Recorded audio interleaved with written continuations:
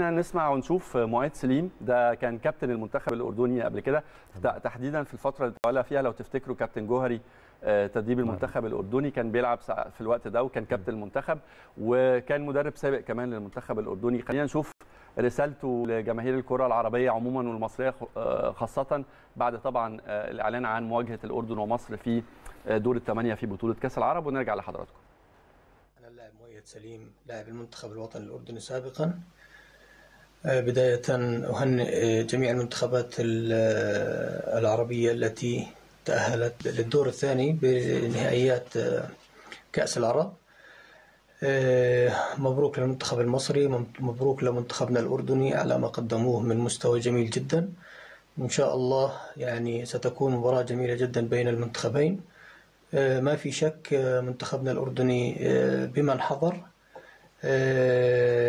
بقيادة الكابتن عدنان حمد واللاعبين الموجودين. إن شاء الله ستكون سيكون بصمة المنتخب الأردني موجودة بكل المحافل العربية. دائما نتوقع بأن النشامة سيكونون عند المحك.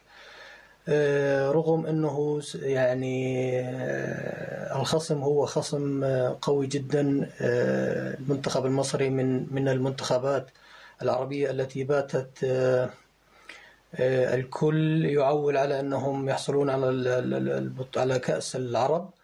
إن شاء الله تكون مباراة جميلة جدا بين المنتخبين فيها الحب والأخوة والعطاء للجميع.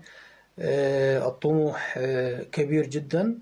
ما في شك إن شاء الله سيكون منتخبنا على قدر المستوى والمسؤولية.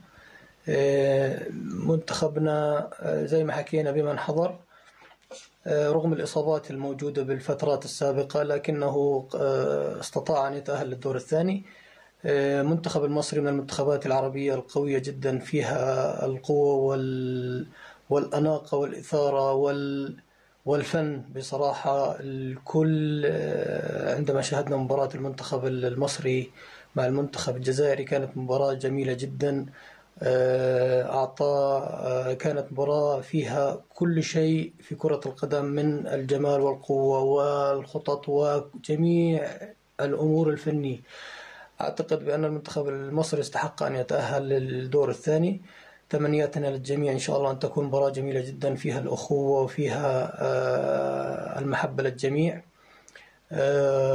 ونهاية حديثي أود أن أتذكر الأيام الجميلة التي كانت من خلال مدربنا الراحل وكبيرنا الراحل الكابتن محمود الجوهري الذي كانت له بصمة كبيرة جدا للكرة الأردنية من خلال تأهلنا لآسيا والحصول على التصنيف العالمي.